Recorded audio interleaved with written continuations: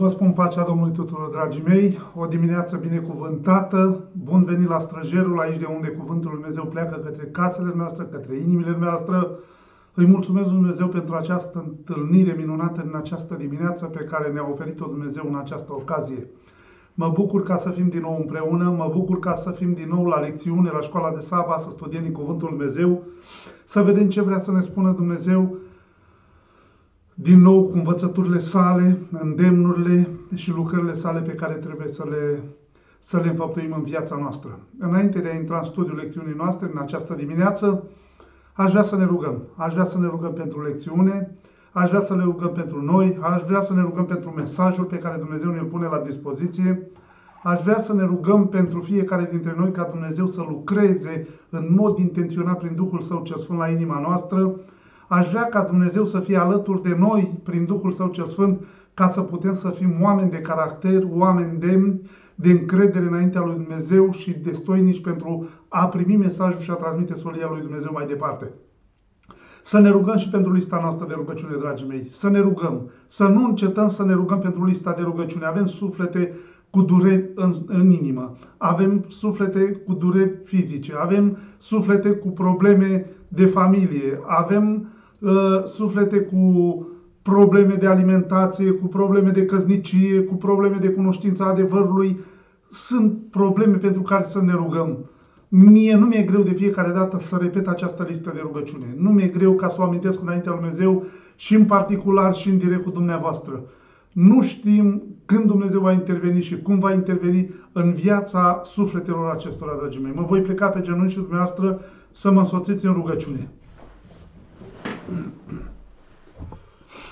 Părinte bun care ești în ceruri, venim și în dimineața aceasta înaintea ta, să-ți mulțumim din toată inima că ești Dumnezeul nostru, să-ți mulțumim că ne-ai dat pace și niște odihnă și ne-ai trezit cu bine la zorii zilei. Îți mulțumim că suntem din nou înaintea ta, ajută-ne să înțelegem cuvântul tău.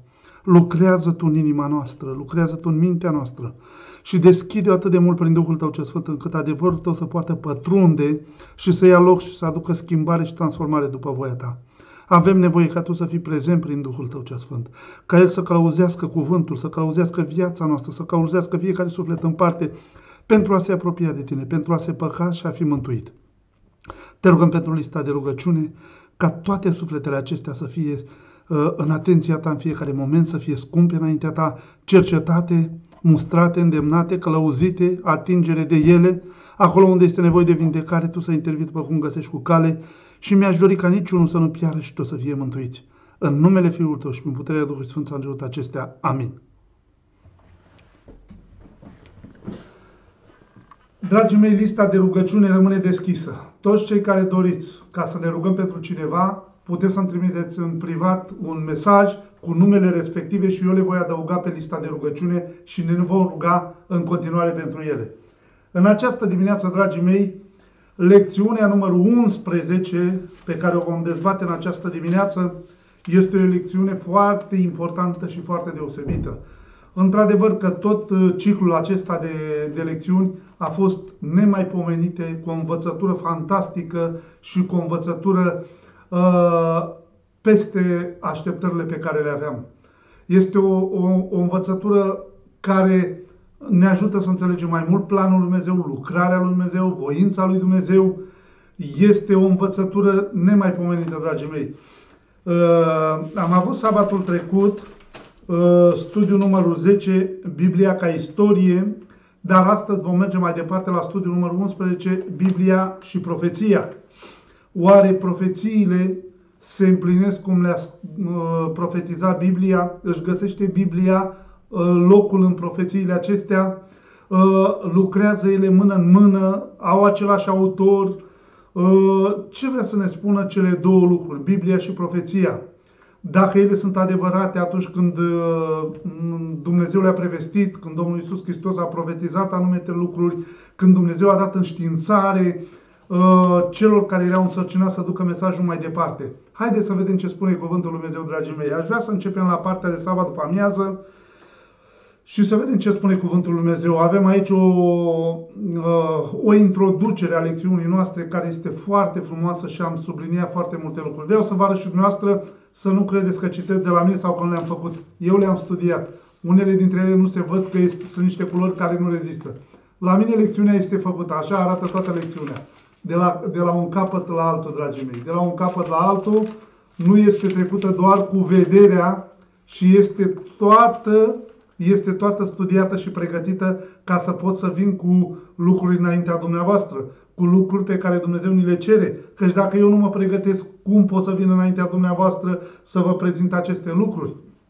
Și spune așa, la subintroducerea de partea de sabat după amiază. Spune așa, Hristos i-a avertizat pe ucenicii săi cu privire la ce aveau să se întâmple în lucrarea lor ca evangeliști. El știa cu ce suferințe și încercări urmeau să se confrunte și ce povere aveau să fie chemați să poarte. La fel cum Domnul Iisus Hristos i-a avertizat pe ucenici, nu le-a descoperit totul, că cei nu puteau să ducă toată povara și tot păcatul care era în lumea aceasta și apăsa asupra lor, și Domnul Iisus Hristos le-a descoperit doar o parte, dar totuși a avertizat. Și pe noi ne-a avertizat Dumnezeu căci în timpul din urmă vom avea probleme, vom fi dați pe mâna și așa mai departe, întemnițați și multe alte lucruri și necazuri vom întâmpina din cauza vestirii Evangheliei Cuvântului Dumnezeu. Spune că El nu le-a ascuns ce avea să se întâmple ca nu cumva încercarea venind pe aneșteptate să facă să li se clatine credința. Domnul Iisus Hristos nu a luat pe nimeni prin surprindere și nici chiar pe ucenici. În momentul când Domnul Iisus Hristos a fost răstignit, ei deja știau. Domnul Iisus Hristos le-a spus dinainte toate aceste lucruri, le-a spus că uite, eu voi fi dat pe mâna celor păcătoși, eu voi fi omorât, voi face lucrul acesta, se va întâmpla lucrul acesta. Dar și vouă vi se va întâmpla același lucru. Domnul Iisus spune că dacă cu, cu învățătorul vostru se întâmplă același lucruri, același lucru se va întâmpla și cu voi. Și Domnul Isus a prevestit dinainte aceste lucruri ca să nu li se clatine credința. Domnul Isus ne întărește și pe noi, ne-a pregătit și pe noi, ne-a dat învățături și sfaturi uh, potrivite la vreme potrivită, ca atunci când omul ajunge în, în starea de încercare, de cernere, de pregătire, de curățire, ca el să se încreadă în Dumnezeu și să fie legat de Dumnezeu. Căci dacă eu mă pregătesc acum pentru timpul care stă în față, atunci nu mă voi clătina și nu-L voi lepăda pe Dumnezeu. Am văzut oameni care au luat cu ușurătate avertizările lui Dumnezeu, mustrările lui Dumnezeu, îndemnurile lui Dumnezeu și în momentul când au avut o încercare uh, de nimica până la urmă, să spun, una mică, unii li s-a vorbit poate uh, puțin dur din partea fraților, alții poate li s-a întors pe spatele și n-au fost salutați sau li s-a întâmplat anumite lucruri și l-au dat pe Dumnezeu la o parte. Când ești legat de Dumnezeu, indiferent ce va veni, nu vei renunța, nu vei da înapoi, vei rămâne statornic. Credința ta nu se va clătina și tu vei rămâne lângă Dumnezeu așa cum a hotărât Dumnezeu. Fiindcă pregătirea pentru timpurile care ne stă în față, la fel ca și la ucenici, trebuie să se facă înainte. Ucenicii au stat lângă Domnul Isus, Domnul Isus i-a pregătit, când a venit momentul de încercare, ei au dat mărturie mai departe pentru Dumnezeu și despre Dumnezeu, dragii mei. Spune că v-am spus aceste lucruri uh, acum înainte ca să se întâmple. Le-a spus el, pentru că atunci când se vor întâmpla să credeți, atunci când aveau să vină încercările, credința lor urma să fie întărită, nu slăbită, aveau să spună unul altuia, El ne-a spus că acestea vor veni asupra noastră și ce avem de făcut ca să le facem față. Deci vedeți pentru ce le spune Dumnezeu? De ce Dumnezeu a trimis profeții? De ce Dumnezeu a trimis avertizări? De ce Dumnezeu trimite semne? De ce Dumnezeu trimite toate aceste lucruri? Din cauză ca la momentul când se împlinesc noi să credem că, suntem adevăra, că sunt adevărate. Dacă eu nu am o bază scripturistică, dacă eu nu am un adevăr din Sfânta Scriptură și venit direct de la Dumnezeu, în momentul când vor veni lucrurile acestea, nu le voi crede, nu le voi primi, nu le voi da nicio valoare și nu vor avea pentru mine nimic care să mă ajute să fac ceva. De aceea Dumnezeu spune că El ne spune aceste lucruri doar ca să credem la momentul când se întâmplă lucrurile acestea. Rostind vaiul asupra lui Iuda, Hristos avusese încă un gând plin de milă față de ucenici. El le-a dat în felul acesta dovada cea mai mare a mesienătății sale. Vă spun lucrul acesta despre, de pe acum, înainte ca să se întâmple, a zis el, pentru că atunci când se va întâmpla să credeți că eu sunt. Dacă Isus ar fi tăcut, lăsând să se înțeleagă că nu știe ce avea să-i se întâmple, ucenicii ar fi putut crede că învățătorul lor nu are prevedere dumnezeiască și a fost surprins și trădat în mâinile gloatei ucigașe. Deci Domnul Iisus Hristos ne-a spus aceste lucruri înainte să creadă că El este Dumnezeu, să creadă că El, este, El are aceste lucruri dumnezeiești, ca El nu este luat prin surprindere de tot ceea ce se întâmplă. Că mulți dintre noi credem că și Domnul Iisus Hristos când a fost dus la moarte, a fost dat la moarte. Mulți dintre noi susținem sau alții susțin că și Domnul Iisus Hristos n-ar fi trebuit să moară, că nu acesta e planul lui Dumnezeu. Dar vedeți aici că Domnul Iisus Hristos descoperă dinainte că El trebuia să moară, El trebuia să-i se întâmple lucrul acesta. Pe El nu lua nimic prin surprindere, El mergea direct acolo, fiindcă scopul și planul lui Dumnezeu era acela ca să moară, că de acesta venise pe pământul acesta. Și venise să și moară, dar venise să ne dea și un exemplu ceea ce să facem, cum să facem, în cine să ne încredem și cum să ne încredem. Spune, iar când Iuda trebuia să ajungă la groaznicul lui sfârșit, ei urmau să-și reamintească de vaiul pe care Iisus îl pronunțase asupra trădătorului. Dar Mântuitorul mai avea un scop. El nu-și retrăsese harul de la acela pe care știa că este un trădător. La fel și la noi astăzi, chiar dacă de multe ori îl trădăm pe Domnul Iisus Hristos, chiar dacă de multe ori facem lucruri care nu trebuie înaintea lui Dumnezeu, încă Dumnezeu, cât mai avem viață, El nu își retrage harul de la noi. Încă mai mijlocește, încă ne mai oferă ocazii, posibilități de a ne întoarce, de a ne împăca cu Dumnezeu, de a sluji, de a-L iubi și de a rezolva problemele noastre cu Dumnezeu. Mântuitorul uh, spune că El a avut acest scop în sine. Ucenicii nu înțeleseseră cuvintele Lui când El spusese la spălarea picioarelor, voi nu sunteți toți curați și nici atunci când fiind la masă el declarase, cel ce mănâncă pâine cu mine a ridicat călcâiul împotriva mea. Deci Domnul Iisus Hristos niciodată, dacă au fost păcate ascunse, El nu le-a descoperit. Nu le-a descoperit înaintea ucenicilor, nu le-a descoperit înaintea oamenilor, le-a ținut ascunse. Acest lucru este valabil pentru noi și o învățătură, fiindcă noi de multe ori oameni avem gura mare, avem gura spartă, care vorbim în stânga și în dreapta. Cineva te sună la un moment dat, vorbește cu tine și tu începi să-i dai numele și începi să-l vorbești de rău sau te duci și te duci la frați, la prieteni, la rude, la cunoscuți și întrebi să-l faci de rușine și să vorbești de rău lucrurile acelea. Domnul Iisus Hristos n-a făcut niciodată lucrul acesta.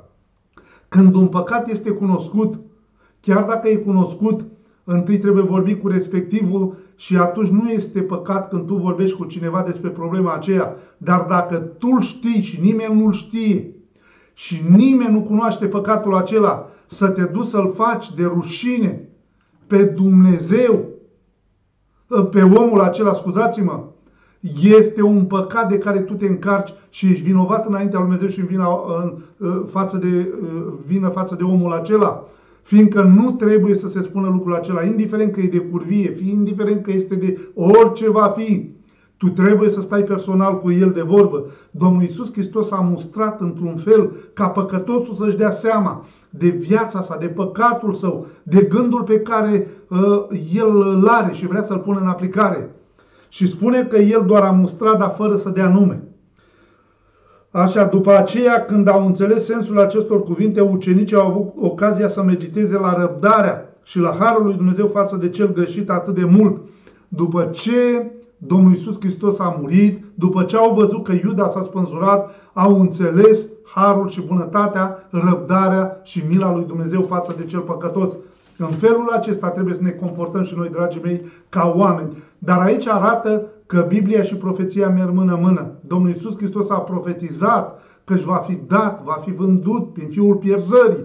Biblia vorbește cu exactitate. Biblia este singurul tălmaci ale ei însuși. Este singura care își dă răspunsuri proprii și înțelegere proprie. Nu trebuie tălmăcită de noi, nu trebuie găsite răspunsuri de noi din părerile și din ideile noastre și trebuie doar uh, din ea însuși să se găsească acest lucru.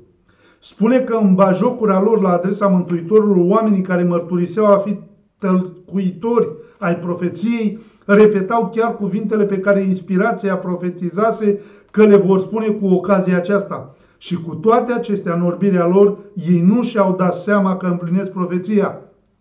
Cei care în bătaie de joc au rostit cuvintele, s-a încrezut în Dumnezeu să scape și acum, dacă îl iubește, căci a zis, eu sunt Fiul lui Dumnezeu, nu își dădeau seama că mărturia lor avea să răsune de-a lungul veacurilor. Domnul Iisus Hristos spusese mai înainte, îmi vezi zice ca să fac lucrul acesta, îmi vezi spune ca să fac lucrul acesta, dar ei rosteau în bajocură, în bătaie de joc lucrurile acestea, dar prin lucrurile acestea pe care ei nu le luau în seamă, profeția care fusese vestită peste veacuri, ajunseseră ca ei să o împlinească atunci la momentul respectiv. Și spune că Scripturile, așa cum n-au făcut-o niciodată mai înainte, uh, i-a determinat pe oameni ca să cerceteze. Bărbați înțelepți au auzit, au cercetat, au judecat și s-au rugat. Ei au fost aceia care n-au cunoscut odihna până când, comparând text cu text, au înțeles misiunea Domnului Isus Hristos pe pământ. Deci vedeți la ce ne învață, dragii mei, Sfânta Scriptură? Sfânta Scriptură ne învață destul de clar și cuvântul lui Dumnezeu pentru a înțelege Biblia, pentru a înțelege profețiile, pentru a înțelege lucrarea și misiunea lui Dumnezeu în planul de mântuire pentru salvarea de suflete, noi trebuie să fim determinați ca să cercetăm Scripturile, așa cum n-am mai făcut-o niciodată. Noi trebuie să cercetăm, noi trebuie să judecăm, noi trebuie să ne rugăm, noi trebuie să comparăm până cunoaștem adevărul Dumnezeu text cu text ca să putem să înțelegem misiunea Domnului Iisus Hristos. Deci noi nu vom înțelege planul lui Dumnezeu din altă parte, chiar dacă este o predică, chiar dacă este o prezentare, dacă eu în mod personal nu voi citi. Pentru mine profeția va fi neînțeleasă, pentru mine profeția va fi un lucru ascuns, pentru mine profeția va fi ceva fără valoare, fiindcă eu nu l-am căutat în Sfintele Scripturi. De multe ori ajungem să ne ducem să întrebăm, domne, dar ce spune Apocalipsa, dar ce spune Daniel, cu fiare, cu sălbăticiuni, cu tot felul de lucruri care sunt acolo, căci nu le înțeleg deloc. Și oamenii mai mari, poate și conducătorii o să ne spună la un moment dat, domne, nu e pentru noi, sunt ascunse, sunt lucrurile lui Dumnezeu. Nu, dragii mei, lucrurile ascunse al lui Dumnezeu ne-au fost descoperite nouă ca să le înțelegem. Tot ce a fost pentru mântuirea și salvarea noastră ca oameni, Dumnezeu ne-a descoperit. Dar ca să putem să înțelegem, nu trebuie să găsim sfat și înțelepciune la oameni, și noi trebuie să căutăm sfat și înțelepciune la Dumnezeu. Noi trebuie să comparăm text cu text, trebuie să cercetăm cu toată inima, trebuie să căutăm cu tot din adinsul, prin rugăciune, prin sfat de la Dumnezeu, ca să putem să înțelegem aceste lucruri. Doar Sfânta Scriptură este care poate să dea răspuns la toate întrebările noastre care nu și-au găsit răspuns niciodată, numai din partea lui Dumnezeu poate. Duhul Sfânt poate să coboare peste noi, Duhul Sfânt poate să lucreze în inima noastră, să perceapă planul și lucrarea lui Dumnezeu și să ne deschidă inima pentru o perspectivă mai largă a lucrurilor lui Dumnezeu în viitorul apropiat, chiar și îndepărtat. Să mergem mai departe la partea de, de duminică, istoricismul și profeția. Oare istoria și profeția dovedesc cu adevărat autenticitatea Sfintei Scripturi? Sau să vedem ce spune istoricismul față de profeție? Că sunt istorici care contrazic, dar sunt istorici care aduc dovezi că există cu adevărat și lucrurile astea s-au împlinit conform Bibliei, fiindcă Biblia e singura autoritate care arată lucrurile așa cum trebuie și chiar dacă au fost oameni care au prezis anumite lucruri sau chiar Nostradamus sau chiar oameni care au văzut anumite lucruri, niciodată nu a fost ca Sfânta Scriptură. Mulți au profetizat anumite lucruri, dar o parte din ele, parțial, insemnificativ, s-au împlinit anumite lucruri, fiindcă nu au fost uh, adevărate, Problema este că Sfânta Scriptură s-a împlinit la literă, la virgulă și nimic nu a rămas neîmplinit. Există un studiu al istoriei care nu trebuie condamnat. Istoria sacră era una dintre materialele de studiu în școlile profeților. Un raport care vorbea despre modul în care se purtase Jehova cu popoarele lumii, cu, cu popoarele lumii. Puteau fi trasate urmele pașilor lui. Singura istorie, dragii mei, care poate să aibă credibilitate, care era studiată în școlile profeților, Era raportul despre cum se purtase Dumnezeu cu poporul Israel. Această istorie ar trebui să fie foarte mult înaintea noastră, înaintea copiilor noștri, în bisericile noastre, la școlile de, la școlile de, de, de juniori, de copii de grădiniță, de majori și așa mai departe, lucrurile acestea ar trebui prezentate și învățate de copiii noștri. Spune la fel și astăzi, noi trebuie să urmărim modul în care se poartă Dumnezeu cu națiunile pământului. Trebuie să vedem în istorie împlinirea profeției, să studiem lucrările providenței, marile mișcări de reformă și să înțelegem desfășurarea evenimentelor în marșul popoarelor către conflictul final al Marii Lupte. Am auzit mulți oameni care pretind și uh, postează și distribuie lucrurile acestea. Uh, să vedeți oameni buni că oculta mondială uh, are planul să distrugă nu știu cât din populație. Uh, să vedeți că uh, nu știu ce se va face, nu știu ce. Sunt de multe ori oamenii scoși în evidență și nu Dumnezeu este la cârma acestor lucruri. Și aici spune că și în aceste timpuri, astăzi, noi trebuie să urmărim comportamentul lui Dumnezeu în lucrurile istoriei acesteia. Sunt lucruri care pentru noi par negative, ireale, care uh, par de o irresponsabilitate dumnezeiască, fiindcă noi nu înțelegem mersul și lucrurile mari lupte pe care Dumnezeu a început-o, satana a început-o cu Dumnezeu în ceruri și continuă și pe pământul acesta, dar acolo este urma pașilor lui Dumnezeu în toată istoria de la început până la sfârșit. Cum vă spuneam și dățile trecute, Dumnezeu în cadrul marii lupte, în cadrul acestei scene de păcat pe pământul acesta, a creat un scenariu. Un scenariu. Și spunea cineva zilele acestea, ă, Păi da, dar dacă Dumnezeu a creat un scenariu, înseamnă că ne-a predestinat și noi nu mai avem libertatea de alegere.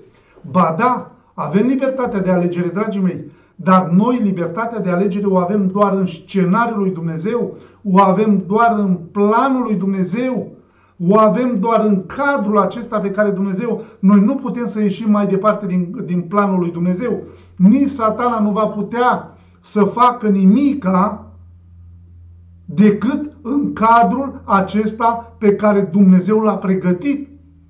Fiindcă un scenarist care pregătește un film, actorii vor, vor juca rolul doar în cadrul scenariului pe care l-a pregătit scenaristul respectiv regilor respectiv. Nu se poate face nimic în afară. Satana va face atât cât este îngăduit, puterea îi se dă atât cât trebuie și nu mai mult. De aceea noi trebuie să vedem urmele pașilor lui Dumnezeu. Chiar dacă pentru moment oamenii creează COVID-ul, creează pentru distrugere, dar Dumnezeu în fiecare lucru are ultimul cuvânt de spus, nu oamenii.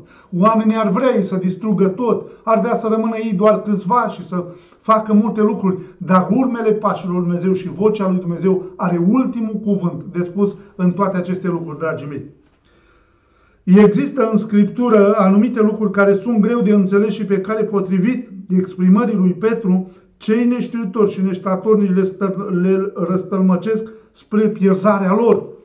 Când noi începem să inventăm lucruri din istoria lumii și din lucrurile lumii politice și economice, noi ajungem să răstălmăcim lucrurile lui Dumnezeu. Ar trebui ca pe noi să ne ocupe ca creștini, să ne preocupe cel mai mult viața noastră, schimbarea de caracter, înălțarea și preamărirea lui Dumnezeu, mărturisirea adevărului, propovădurirea Evangheliei, o trăire aproape de Dumnezeu, o încredere mai mult în cuvântul lui Dumnezeu pentru timpurile care ne stă în față și nu să ne legăm de lucrurile acestea economice, politice, istorice, fără să fie urma pașilor lui Dumnezeu acolo și cuvântul lui Dumnezeu să vorbească. Mai departe spune cuvântul lui Dumnezeu așa, noi nu vom putea să explicăm în viața aceasta semnificația tuturor pasajelor din Scriptură, dar nu există puncte esențiale adevărului practic menite să rămână pentru totdeauna înveli, în, în, învăluite în mister. Chiar dacă nu vom putea să explicăm pe moment toate lucrurile, dar cu răbdare, așteptând răspunsul lui Dumnezeu, cerându lui Dumnezeu prin studiu și rugăciune să ne explice, Dumnezeu nu va lăsa în întuneric învăluite unele lucruri pe care noi nu le cunoaștem. Dumnezeu, dragii mei, ni le va descoperi și ni le va pune înainte dacă noi vom căuta lucrul acesta. Acum depinde unde căutăm rezolvare, unde căutăm înțelegere, unde căutăm descoperire. Ne uităm doar în istorie în care nu arată pe Dumnezeu sau în istoria biblică care îl descoperă pe Dumnezeu în istoria lumii acesteia, care istoria lumii acesteia neagă pe Dumnezeu. Istoria lumii acesteia scoate pe Dumnezeu din cadrul acesta și din scenariul acesta. De multe ori se aduc oameni și spun Mihai Viteazu a făcut, Ștefan cel Mare a făcut, Ceaușescu a făcut, ăla a făcut, ăla a făcut, dar Dumnezeu nu este nicăieri, Dumnezeu nu a făcut nimic și Dumnezeu nu a făcut la, n-a fost la cârma niciun lucru de pe pământul acesta. De aceea noi trebuie să-L vedem pe Dumnezeu. Spunea că atunci când în providența lui Dumnezeu va veni timpul ca lumea să fie pusă la probă cu privire la adevărul pentru acel timp, mintea oamenilor va fi îndemnată de Duhul Său să cerceteze Scripturile, chiar cu post și rugăciune până când verigă cu verigă vor fi descoperite și unite într-un lanț perfect. Fiecare aspect care are o legătură directă cu mântuirea sufletelor va apărea atât de clar încât nimeni nu va avea de ce să greșească sau să umble în întuneric. Deci vine timpul când Duhul lui Dumnezeu te îndeamnă, dacă tu auzi glasul lui Dumnezeu, vocea lui Dumnezeu, vei asculta, vei reacționa, vei percepe mesajul lui Dumnezeu, vei începe ca mintea ta să fie pusă la probă, să fie îndemnată de Duhul lui Dumnezeu ca să cercetezi Scripturile cu post și rugăciune. Câți dintre noi am cercetat uh, Scripturile cu post și rugăciune, dragii mei? De câte ori am postit noi înaintea lui Dumnezeu să spunem, Doamne, nu postul te ajută să faci ceva, dar umilința ta înaintea lui Dumnezeu și să spui, Doamne, te rog, dăm putere ca să postez ca să înaintea ta. Dar te rog să mă ajuți ca să înțeleg cuvântul tău. Să mă ajuți să înțeleg mesajul tău. Să te rogi înaintea lui Dumnezeu să-ți lumineze mintea. Să înțelegi lucrurile neînțelese din Sfânta Scriptură, să lase Duhul Sfânt peste tine ca să vezi urmile pașilor lui Dumnezeu în toată istoria lumii acesteia și în toată lucrarea de pe pământul acesta. Acea trebuie să facem noi. Dar noi de multe ori citim Sfintele Scripturi doar superficial, mai mult istoria, mai mult lucrurile lumii acesteia, mai mult ne interesează ceea ce spun oamenii și nu ceea ce spune Dumnezeu. Urmând lanțul profetii, adevărul descoperit pentru timpul nostru a fost înțeles și explicat, dar noi suntem răspunzători pentru privilegiile care ne bucurăm și pentru lumina care strălucește pe calea noastră. Cei care au trăit în generațiile trecute au fost răspunzători pentru lumina care a fost îngăduită să strălucească asupra lor. Spunea cineva, da, dar vezi, uite, pe timpul acela s-a făcut așa, de ce noi nu putem să facem lucrul acesta? Dar mi-a făcut foarte clar ce spune cuvântul lui Dumnezeu. Spune așa, că lumina strălucește peste noi și noi suntem răspunzători pentru privilegiile pe care le avem. Dumnezeu va judeca pe fiecare de pe posibilitățile pe care le-a avut. Dumnezeu mă, mă judecă pe mine când eu am avut posibilitate să studiez mai mult, am avut Sfânta Scriptură, am avut libertate, am avut cărți inspirate, am avut lucruri pe care am putut să le fac pentru Dumnezeu și am refuzat. Mulți dintre noi spunem, dar mai bine să nu citesc decât să știu că e mai bine lucrul acesta. Dar Dumnezeu spune, nu, Dumnezeu ne va judeca de pe privilegiile pe care le-am avut. Înțelegeți dumneavoastră? Și de aceea noi trebuie să consacrăm timp pentru a studia din Cuvântul Dumnezeu cu post și rugăciune. Spune lor celor din vechime le-a fost atras atenția asupra anumitor puncte din Scriptură cu privire la cei care au fost puși la probă, dar nu au înțeles adevărurile pe care le înțelegem noi. Nu au fost considerați răspunzători pentru o lumină pe care nu au primit-o. Dacă oamenii din vechime au primit doar o mică parte a luminii, ei vor fi judecați pentru lumina aceea și nu pentru lumina pe care o avem noi acum. Noi vom fi judecați astăzi după măsura luminii care vine de la Dumnezeu, după posibilitățile pe care le avem. Înainte oamenii aveau o singură Sfântă Scriptură într-o comunitate foarte mare că nu existau și spune că din Scriptura aceea rupeau uh, foițe de hârtie sau aveau bucăți de piele de animale care erau uscată și pregătită și scriau pe ea texte și după ele mergeau prin toată comunitatea și citeau, repetau, după aceea ștergeau după pielea aceea, iar din nou le scriau mesaje, iar din nou făceau lucrul acesta. Deci vedeți noastră, noi avem mare posibilitate. Înainte avea o scriptură la nu știu cât, acum în casa noastră, spuneți dumneavoastră, câți dintre dumneavoastră aveți doar o singură scriptură în casă? Aș vrea să vă întreb. Rare ori se întâmplă ca un om să aibă o scriptură în casă. Am și eu, are și soția, are și copii, are și mama, și tata, și bunicul, avem și cărți inspirate, avem de toate. Avem lumină mai mare, avem privilegiu mai mare, avem o descoperire mai mare din partea lui Dumnezeu, numai să vrem și nu să o respingem. Uh, spune că ei au avut Biblia așa cum o avem și noi, dar dezvăluirea, dezvăluirea adevărului special în legătură cu scenele finale ale istoriei acestui pământ se va face în timpul ultimelor generații care vor trăi pe pământ. Deși unii au avut Sfânta Scriptură, la un moment dat lui Daniel îi spune Dumnezeu. Când Daniel îl întreabă, îi spune, da, Doamne, dar ce se va întâmpla? Cum va fi? Și spune, Daniele, oprește-te, e de ajuns. Atât cât poți să duci, atât va rămâne. Sigilează cartea aceasta pentru timpul sfârșitului. Fiindcă tu nu vei ajunge acolo. Mulți dintre noi poate nu vom apuca lucrurile acestea. Poate Dumnezeu astăzi ne va trece la odihnă, dar fiecare, pe măsura timpului, Dumnezeu ne-a descoperit adevărul său. Adevărurile care au fost sigilate, pentru noi acum sunt desigilate în timpurile acestea. Și noi trebuie să ne raportăm nu la adevărul din urmă, și noi trebuie să ne raportăm la adevărul pe care îl avem astăzi și a fost desigilat pentru noi.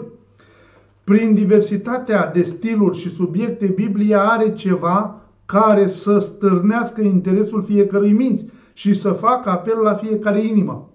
Deci Biblia este o diversitate de imagini, de cuvinte, de exemple, de sfaturi, de profeții, care are ceva special pentru fiecare minte în parte, fiindcă toți înțelegem adevărul Dumnezeu care căutăm cu toată inima, dar avem stiluri și percepții, percepții diferite ale adevărului Dumnezeu, doar că uh, rezultatul trebuie să fie același și spune că uh, va stârni interesul minții, va face apel la fiecare inimă ca să poată să înțeleagă și să priceapă cuvântul lui Dumnezeu. De aceea Dumnezeu trimite aceste lucruri. Uh, pe paginile ei se găsesc istoriile cele mai vechi, biografiile cele mai fidele vieții reale, principii pentru guvernarea statului, pentru administrarea bunurilor, principii pe care înțelepciunea omenească nu le-a egalat și nu le va egala niciodată. Din Sfânta Scriptură s-au făcut legile statului, din Sfânta Scriptură s-au coordonat multe lucruri în lumea aceasta de ordine interioară și exterioară, de aceea și la tribunale se folosea așa cum se folosește, dar că nu se respectă e altă treabă, dar toate lucrurile de acolo, fiindcă nici o minte omenească și nici o lucrare omenească nu poate egala înțelepciunea și lucrarea Sfintelor Scripturi. Scriptura conține cea mai profundă filozofie, cea mai delicată, mai sublimă, mai plină de, de pasiune și mai mișcătoare poezie. Chiar și din această perspectivă, scrierile biblice sunt infinit superioare ca valoarea oricărui opere cu autor uman.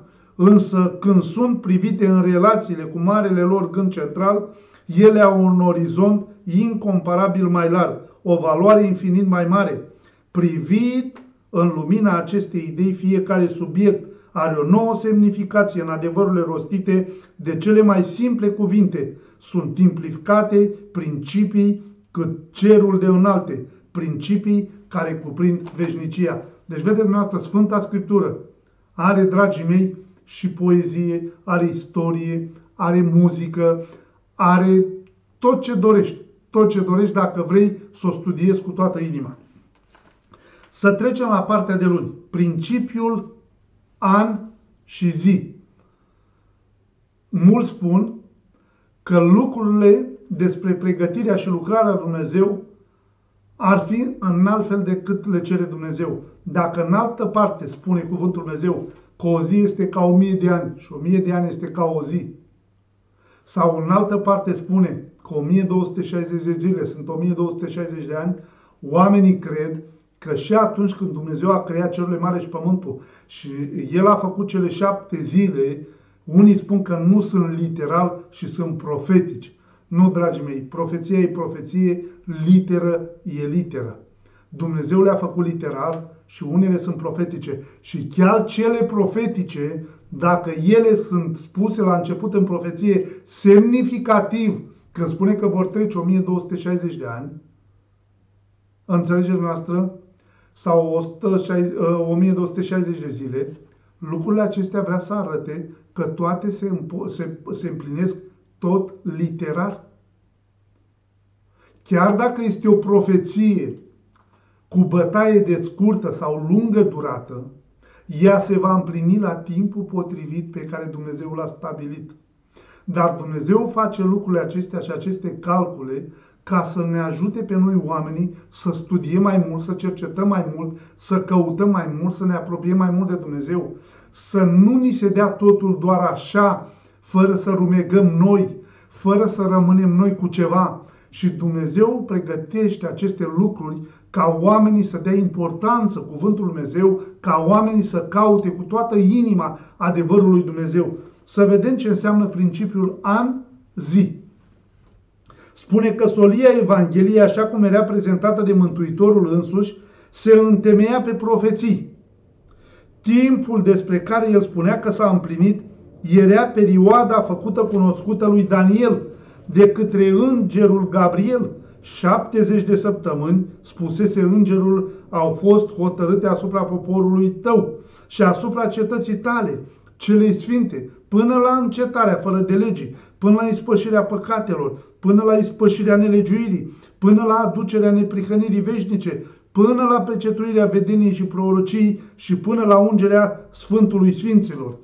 Această profeție, care este trecută de 70 de ani, până la ungerea Sfântului Sfinților, se referă la ungerea Domnului Iisus Hristos, ca El trebuia să fie cel care trebuia să se împlinească din toate slujbele din Vechiul Testament și el trebuia să fie uns ca Sfânt al Sfinților și ca mare preot care trebuia să urce în cerul și să mijlocească pentru noi ca oameni. În profeție o zi reprezintă un an, cele 70 de săptămâni sau 490 de zile, reprezintă 490 de ani. Se dă un punct de plecare pentru această perioadă. Să știi, dar și să înțelegi că de la darea poruncii pentru zidirea din nou Ierusalimului până la unsul Mesia, cărmuitorul vor trece șapte săptămâni, apoi șapte, 62 de săptămâni, adică 400 Uh, 83 de ani porunca pentru rezidirea Ierusalimului, așa cum a fost completată din, prin decretul lui Artasexe, a fost pusă în aplicare în, an, în toamna anului 457 înainte de Domnul Isus Hristos. Daniel a văzut lucrurile acelea și spune că el din cărți a descoperit lucrul acela și s-a rugat lui Dumnezeu când vine timpul acela pentru rezidire. Și în momentul acela el a înțeles când Artasexe a venit la putere, el trebuia să dea, lucrul, să dea decretul respectiv pentru pregătire și pentru rezidire. Deci, vedeți noastră, ea s-a împlinit chiar dacă e profetică, dar s-a împlinit literar, s-a împlinit la timpul pe care Dumnezeu l-a hotărât. Este o profeție care trebuie calculată literar. Fiindcă dacă noi vom calcula doar profetic, nu vom am înțelege niciodată la ceea ce a spus Dumnezeu. Dar înțelegerea aceasta nu se poate face doar prin calculele noastre. La cârma înțelegilor și studiul Cuvântului Dumnezeu trebuie să fie Duhul Sfânt prezent, dragii mei fiindcă nimeni nu ne va ajuta să înțelegem adevărul lui Dumnezeu fără Duhul lui Dumnezeu. El e singurul care cunoaște tainele lui Dumnezeu. El e singurul care stă la sfatul lui Dumnezeu. El e singurul care face parte din Dumnezeu, care ne poate da luminare și călăuzire și înțelegere ale lucrurilor lui Dumnezeu. Marile, marile adevăruri descoperite prin cuvântul Mântuitorului lumii sunt pentru cei care cercetează după adevăr, ca după o comoară ascunsă. Deci, vedeți dumneavoastră, adevărurile nu sunt pentru toți oamenii. Ele sunt date tuturor oamenilor, dar nu sunt pentru toți. Și spune că aceste mari adevăruri, ele sunt doar pentru cei care cercetează, pentru cei care sapă dânca după o comoară, cu post și rugăciune, cum spuneam mai devreme, și atunci vom înțelege ce înseamnă an, zi, ce înseamnă zile profetice, ce înseamnă zile literare, cum se vor împlini și când se vor împlini. Noi ca oameni nu putem face nimic. Nici cel mai luminat om de pe pământul acesta, dacă n-ar fi Duhul Sfânt, el n-ar putea să spună absolut și să facă absolut nimic. De aceea Dumnezeu de multe ori nu folosește oameni cu minți luminate și cu pregătiri sofisticate.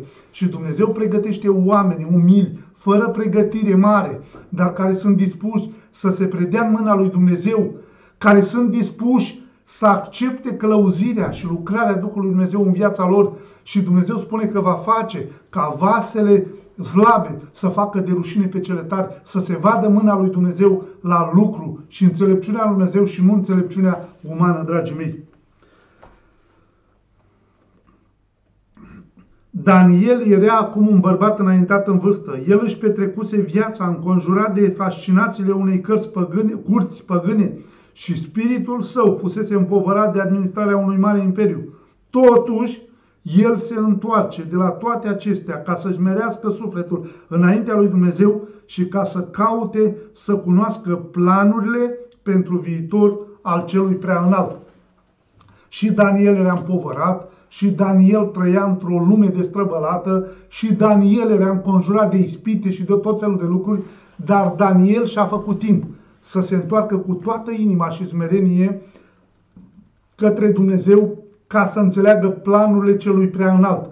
Același lucru trebuie să-l facem. Eu știu că este greu. De multe ori alergăm pentru câștigarea hranei zi de zi, pentru a câștiga lucruri de care avem nevoie, pentru a pune pâinea pe masele, pe mesele noastre, pentru copiii noștri, pentru familia noastră, pentru a face ceva în jurul nostru, acolo unde avem un acoperiș deasupra capului. Dar trebuie să facem ca Daniel în toată împovărarea noastră, cu smerenie, cu umilință înaintea lui Dumnezeu, să ne rugăm și să studiem adevărul lui Dumnezeu, dragii mei. Cu câtă seriozitate ar trebui să-L căutăm noi pe Domnul, ca să ne deschidă mintea pentru a înțelege adevărurile trimise nouă din ceruri. La cine trebuie să căutăm noi? La cine trebuie să căutăm noi? La Dumnezeu fiindcă e singurul care poate să ne deschidă mintea. Noi trăim scenele finale ale istoriei acestui pământ. Profeția se împlinește cu grăbire. Orele timpului de probă trec repede. Nu avem timp de pierdut, nici măcar o clipă. Deci noi trebuie să studiem Cuvântul Lui Dumnezeu mai mult ca niciodată, dragii mei. Fiindcă orele trec, timpul trece, zilele se duc. Când eram copil, mi-aduc aminte, de-abia trecea zilele și lunile și anii și vacanța de vară, chiar dacă era o lună de zile, atât de mult dura, de nu știam ce asta. Și de multe ori îmi doream să ajung mare, să muncesc, să fiu pe salariu, să am banul meu și să fac eu nu știu ce. Acum așa trec anii, acum am avut 30, acum am 50, mâine o să am 60, poi mâine o să am cine știe, dar trece repede săptămâna. Astăzi este duminică, mâine este din nou vineri.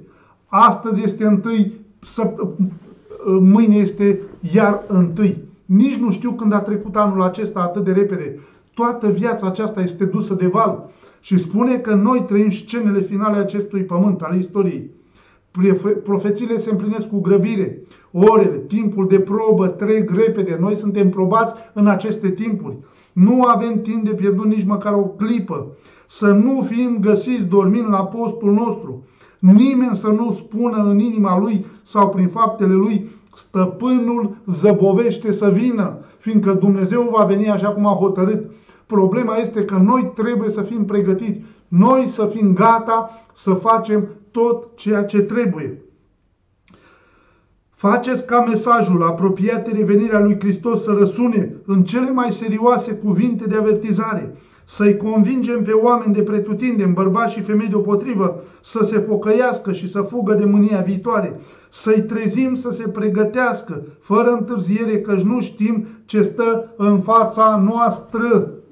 E timpul de criză, e timpul de pregătire, e timpul în care să-i convingem pe oameni, e timpul să dăm avertizări serioase, cum spuneam la prezentarea de seară, mesaje de avertizări și demonstrare, ca oamenii să fugă de mânia viitoare, să se întoarcă de la păcatele și de la viața lor către Dumnezeu, dragii mei. Citiți, să vedeți ce spune cuvântul Dumnezeu. Și aceste lucruri pe care le-am citit înaintea noastră le găsiți în Mărturii, volumul 8, la pagina 252-253. Să vedeți ce spune cuvântul Dumnezeu. Noi trebuie să ne încredem în Dumnezeu și noi trebuie să ne facem lucrarea la care Dumnezeu ne-a chemat fiindcă este timpul cercetării, este timpul judecății, este timpul când Harul lui Dumnezeu se pregătește să se închidă, este timpul când istoria lumii acesteia se va încheie în curând. Să trecem la partea de marți, identificarea cornului mic. Că mulți citesc în Sfânta Scriptură și ei nu înțeleg cine este fiara aceea, că era cu capete mai multe, avea și coarne, dintr-o dată a ieșit un corn mic și cornul acesta a făcut, a vorbit cine este, de unde este, ce este cu el. Și aici spune, la identificarea cornului mic, spune așa, dar unealta principală a lui satana, care a făcut război cu Hristos și cu poporul său în primele secole ale erei creștine, a fost Imperiul Roman, în care păgânismul era religia predominantă. Spune că cornul cel mic s-a înălțat, a vorbit cu hule împotriva celui prea înalt, a asuprit pe sfinții celui prea înalt și s-a purtat cu trufie înaintea lui Dumnezeu de aceste lucruri. Deci cornul acela care s-a purtat cu trufie, aici ne spune că era Roma, Imperiul Roman, care a persecutat, s-a ridicat împotriva lui Dumnezeu, ei credeau că sunt Dumnezeu, mai ales conducătorii, ei nu recunoșteau niciun Dumnezeu în afară de cezarul Romei și cine nu se închina Romei, acela putea să fie dat la moarte. Să vedem ce spune mai departe. Astfel balaurul îl reprezintă în primul rând pe satana. De satana este balaurul, satana este unealta principală, el s-a folosit de Roma imperială și spune că satana, el este în primul rând balaurul, dar în al doilea rând este un simbol și al Romei păgâne, fiindcă și Roma păgână a folosit aceeași putere a balaurului și a folosit scaunul de domnie al satanei, unde satana i-a dat puterea ca să persecute și să facă lucruri rele și mari minuni înaintea oamenilor pentru a-i omorâ pe Sfinții Celui Prea Înalt. Spune că în Apocalipsa, capitolul 13, este descrisă o altă fiară, ca un leopard, căreia balaurul i-a dat puterea lui, tronul lui și o stăpânire mare. Acel simbol, așa cum au crezut majoritatea protestanților, reprezintă papalitatea care a urmat puterii tronului și autorității deținute odinioară de Imperiul Roman.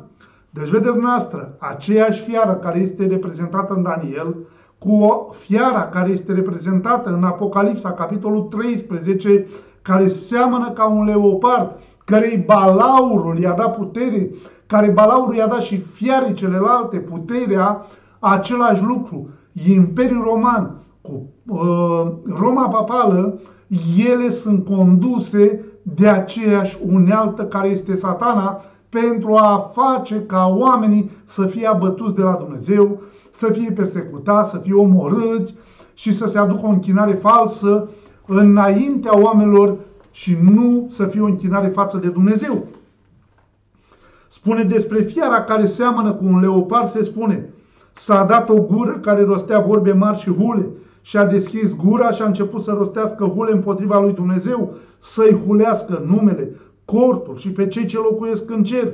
I s-a dat să facă război cu sfinții și să-i biruiască și i s-a dat stăpânire pe orice, orice seminție, peste orice norod, peste orice limbă și peste orice neam.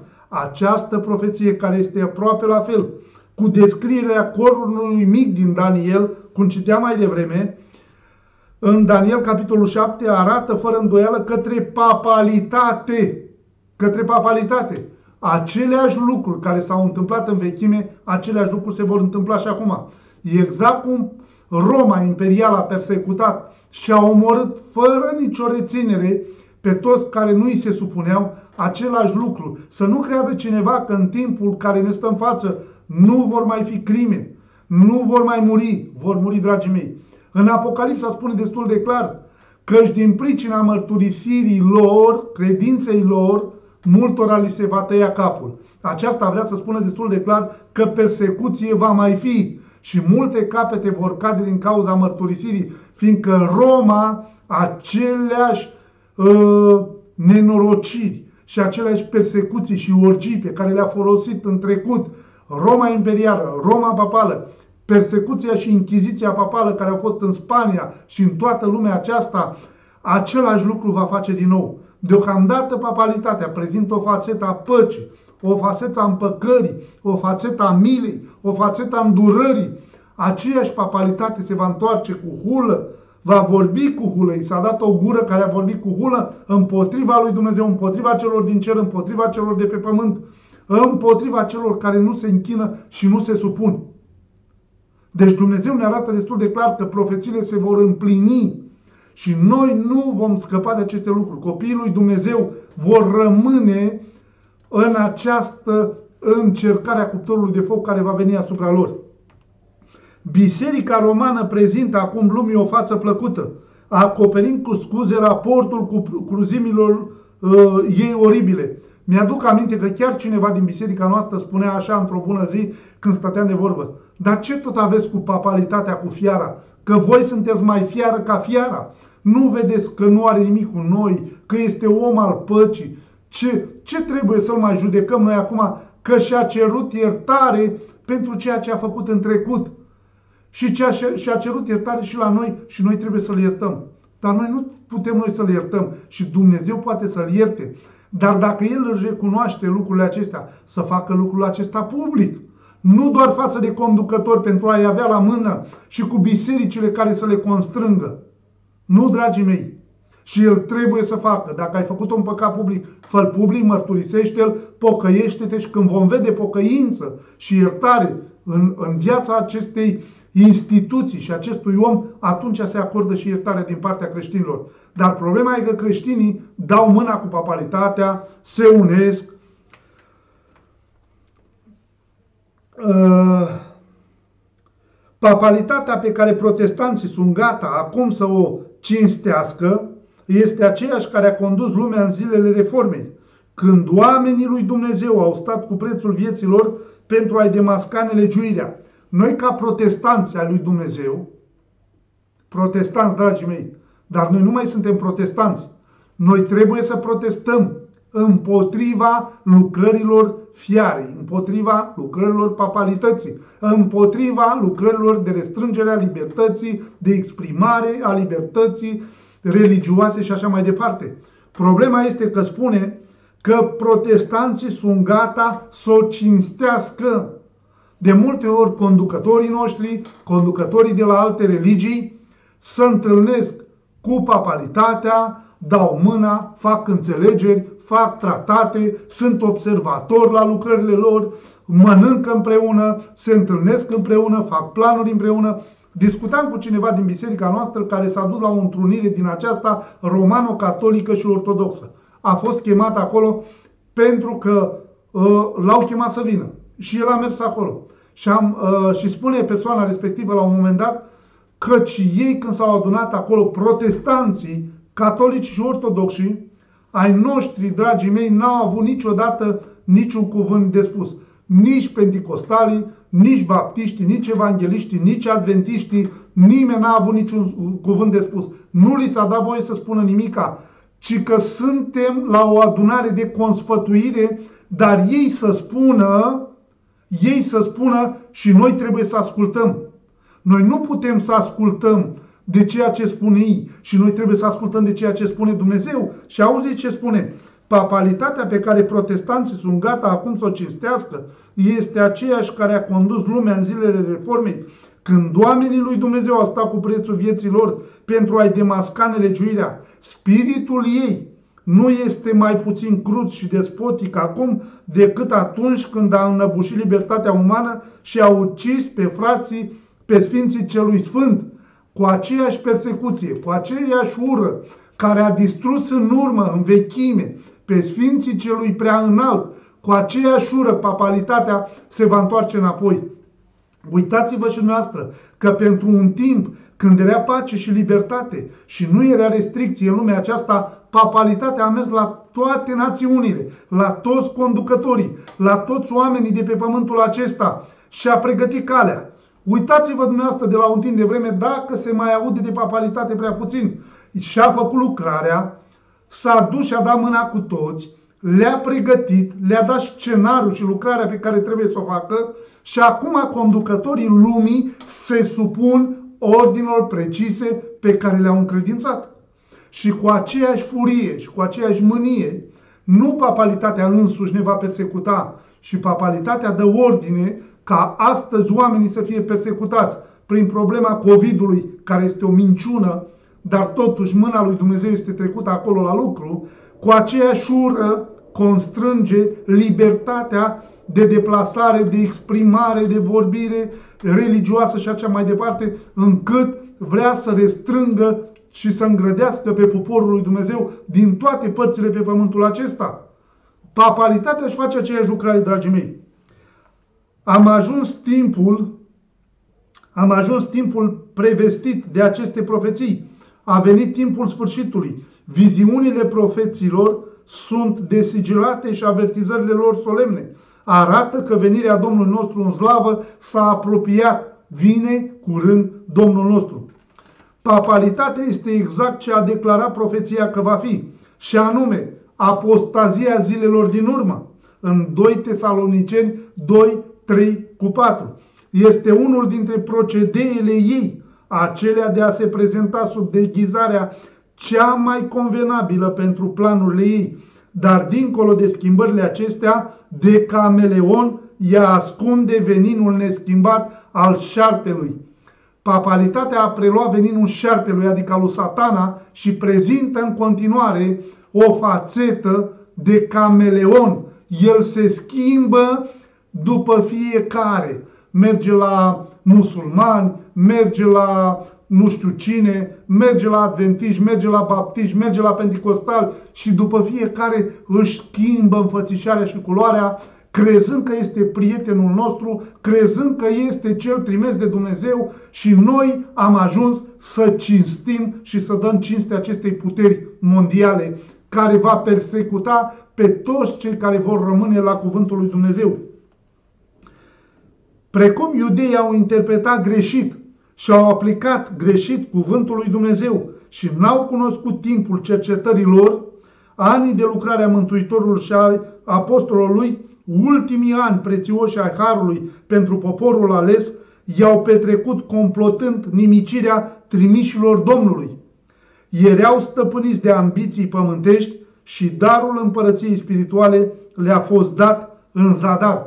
Același lucru de multe ori și noi ca copii al lui Dumnezeu și ca creștini interpretăm greșit profețiile, aplicăm greșit cuvântul lui Dumnezeu, noi pierdem din vedere și nu cunoaștem timpul cercetării noastre, anii de lucrare a lui Dumnezeu pentru noi au trecut pe lângă noi, chiar dacă au fost ani prețioși, și noi ajungem în aceste timpuri să fim stăpâniți de ambiții pământești și darul împărăției spirituale ne va fi în zadar pentru fiecare dintre noi, dragii mei.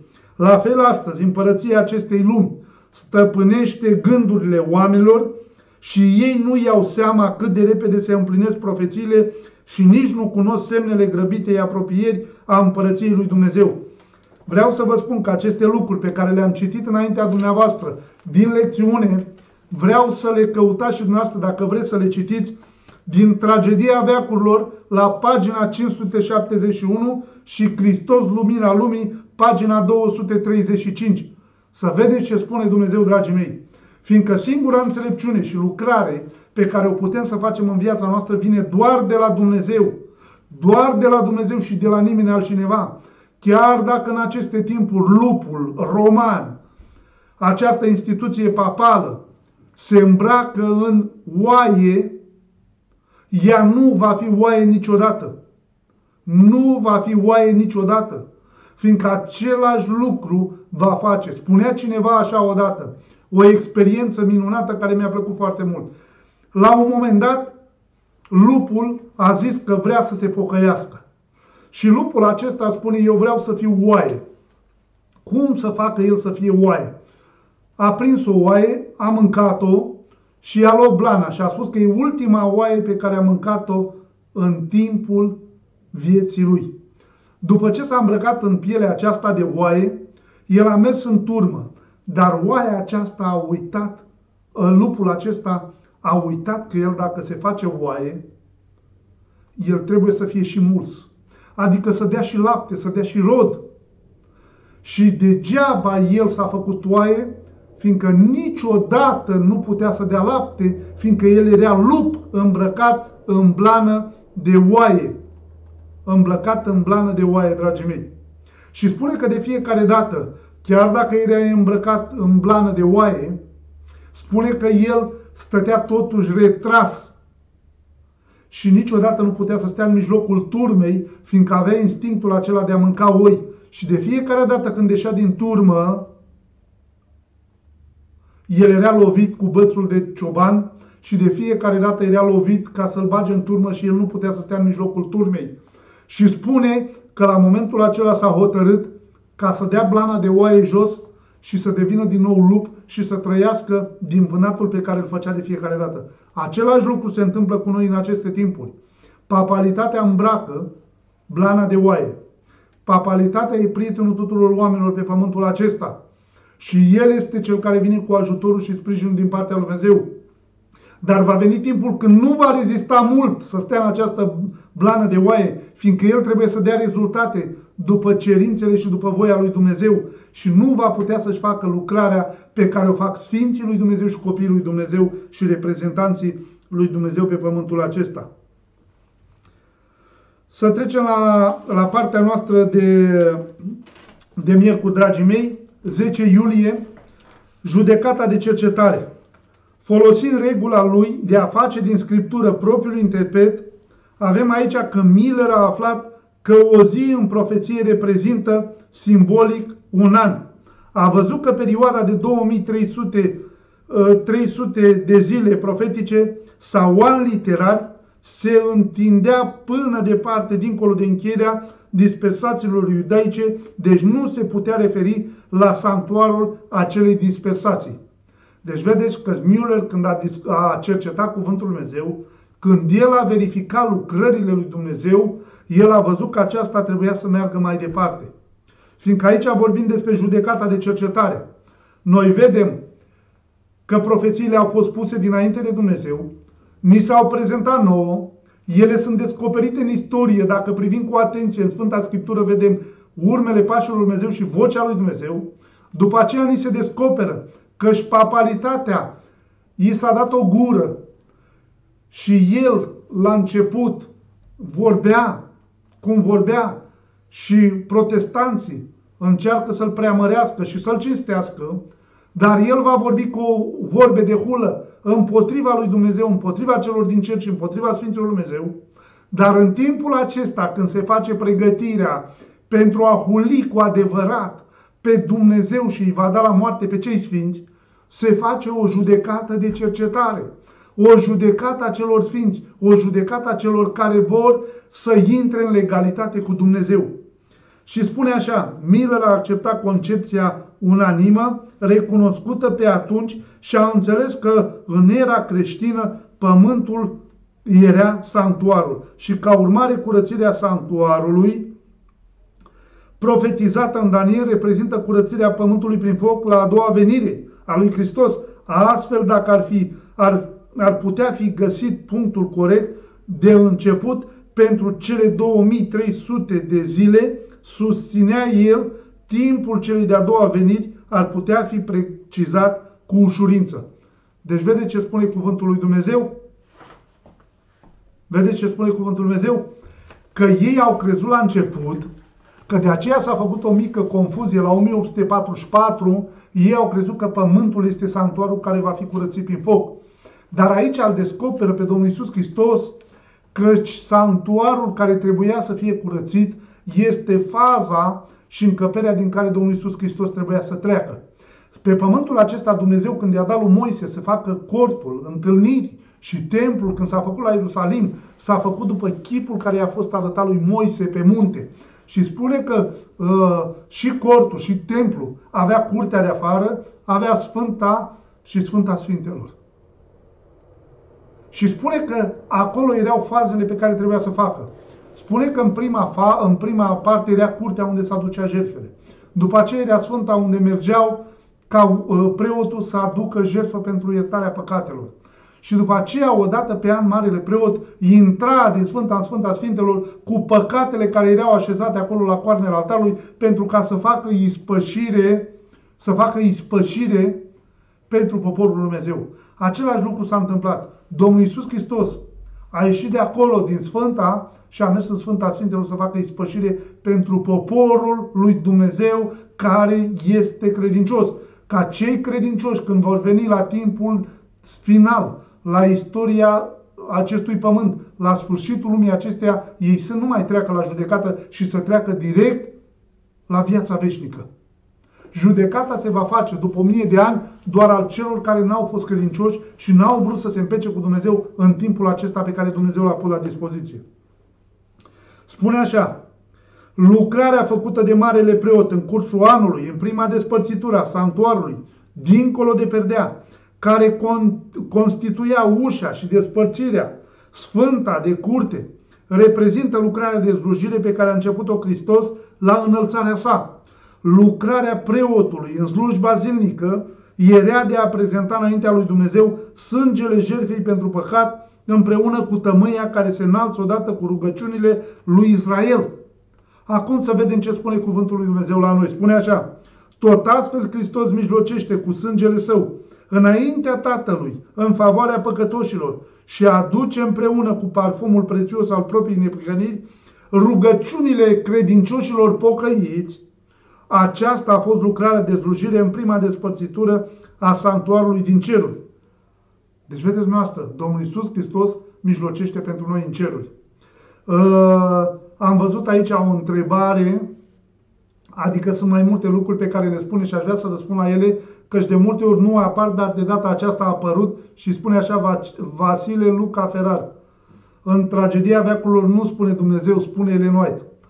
Dragul meu Vasile, vreau să spun un singur lucru. Chiar dacă voi nu credeți că Ellen White este profetul lui Dumnezeu, dar Ellen White n-ar fi avut niciodată puterea și capacitatea să spună aceste lucruri. Ellen White, pe care voi o desconsiderați, care este profetul lui Dumnezeu, ea niciodată nu s-a intitulat profetul lui Dumnezeu. Una la mână.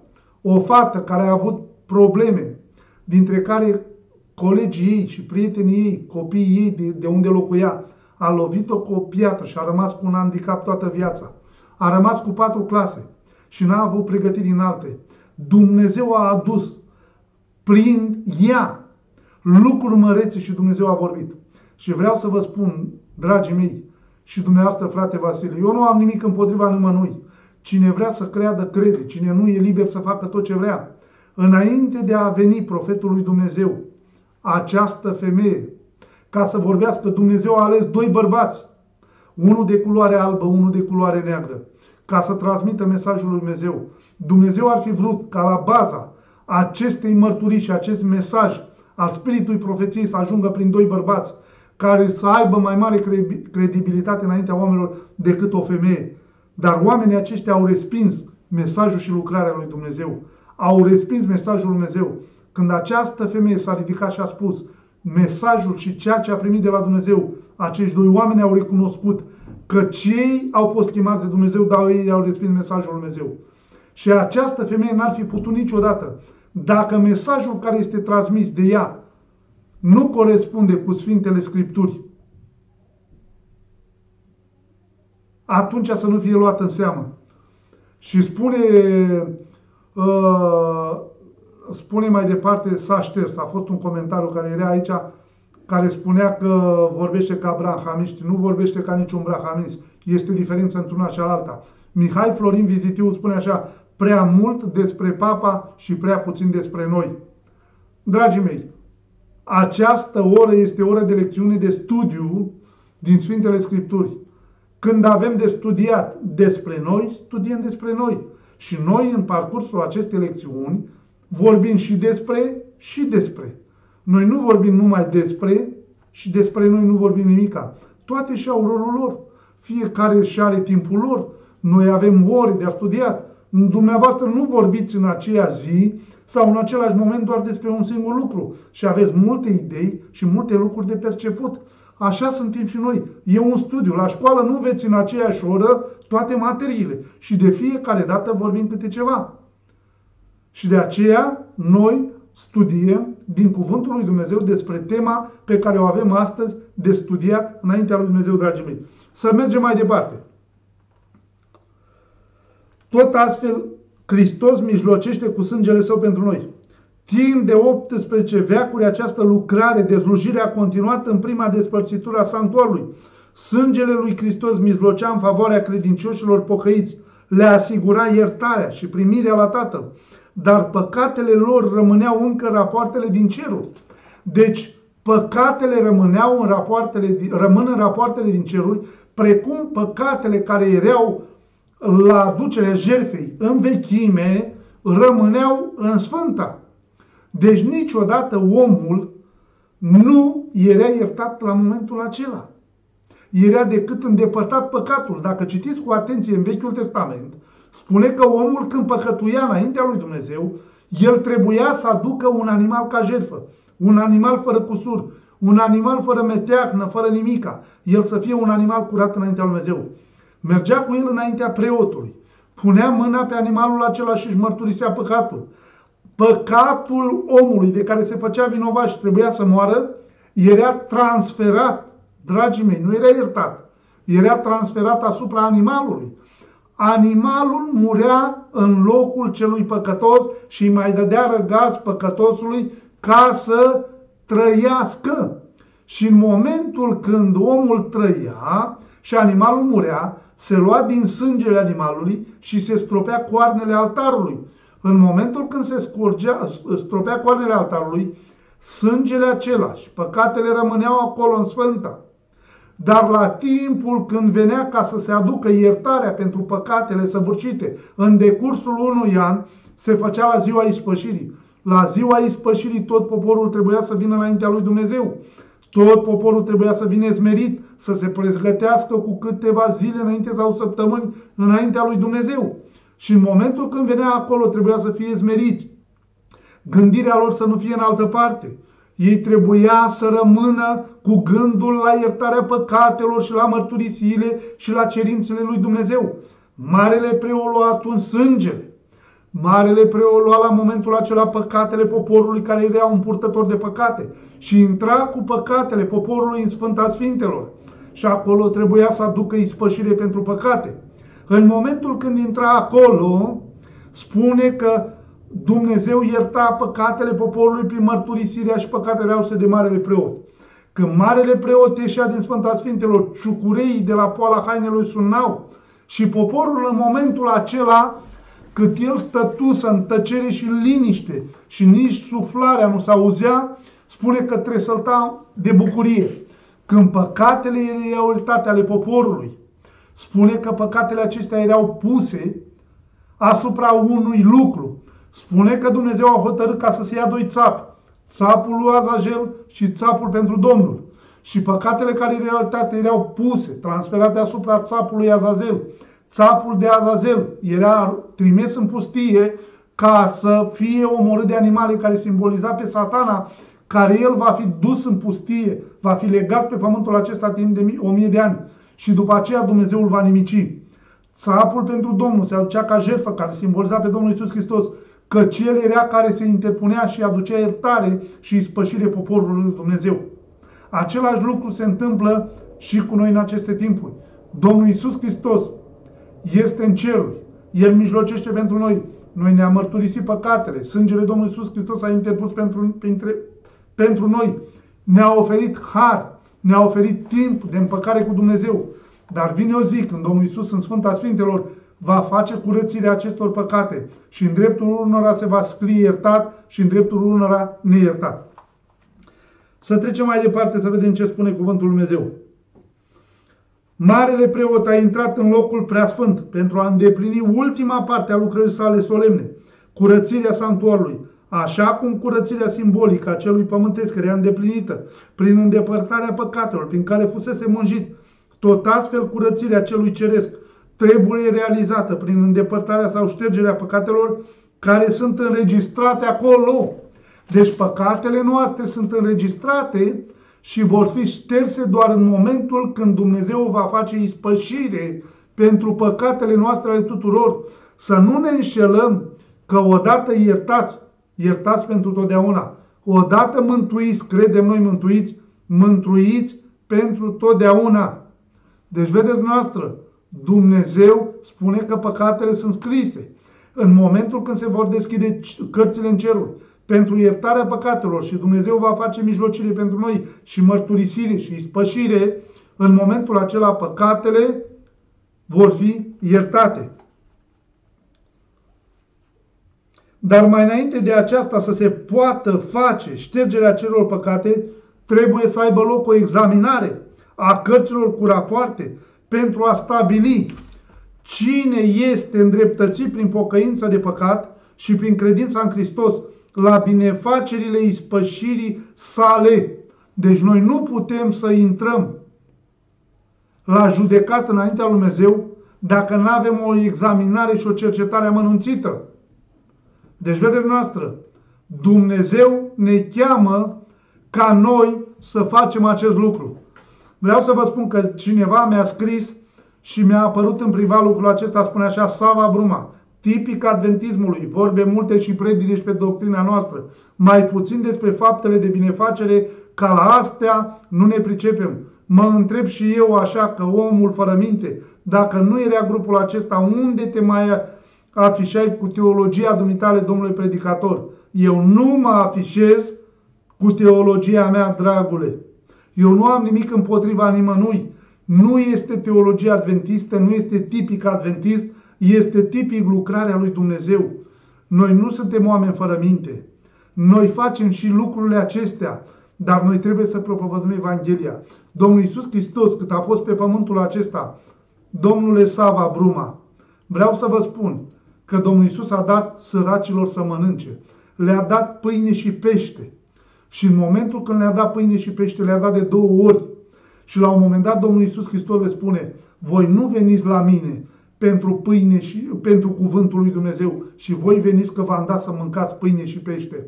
Dacă noi facem bine și îi aducem pe oameni, nu zic că nu-i bine să facem lucrul acesta, dar majoritatea creștinilor, dacă îi aducem prin pâine și pește la cuvântul lui Dumnezeu, îi aducem prin pâine și pește, ei vor sta pentru pâine și pește. Când se va termina pâinea și peștele, vor pleca, vor huli, vor vorbi de rău pe Dumnezeu. Dacă îi întorci pe Dumnezeu, pe oameni la Dumnezeu, din dragoste, pentru Dumnezeu, pentru ca ei să-și mărturisească păcatele, să primească iertare, dacă ei se vor întoarce și vor asculta de Dumnezeu, vor primi și pâine, vor primi și pește. Iubirea lui Dumnezeu și iubirea frățească se va răstrânge către ei. Dumnezeu spune că dacă vezi pe aproapele tău căzând sub povară, du-te și ridică de acolo și du mai departe și îngrijește-te de toate nevoile lor. Dacă cineva își cere o cană de apă, dă Dacă își cere o bucată de pâine, dă Împarte-o cu el.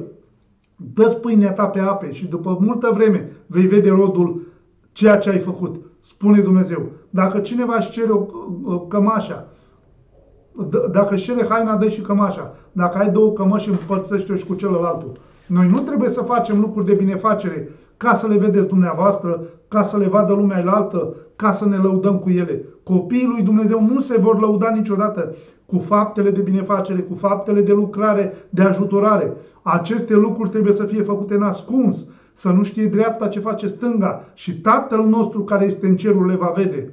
Dacă noi promovăm binefacerea înaintea cuvântului Dumnezeu, nu vom face parte din poporul Dumnezeu și din categoria lucrării lui Dumnezeu de promovare adevărului.